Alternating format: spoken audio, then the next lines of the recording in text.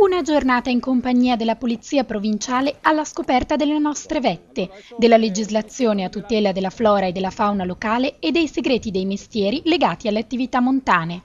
È l'esperienza che hanno potuto provare i giovani partecipanti al progetto On the Road 2012, un programma educativo di 5 settimane che coinvolge 24 ragazzi delle province di Bergamo e Milano nelle attività operative fianco a fianco con gli agenti della polizia.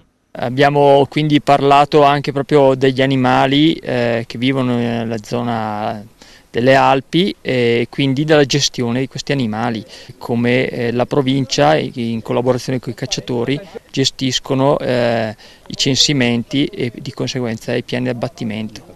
Passeggiando lungo i sentieri del Passo San Marco in Val Brembana, i ragazzi hanno scoperto come si svolge la giornata tipo della Polizia Provinciale.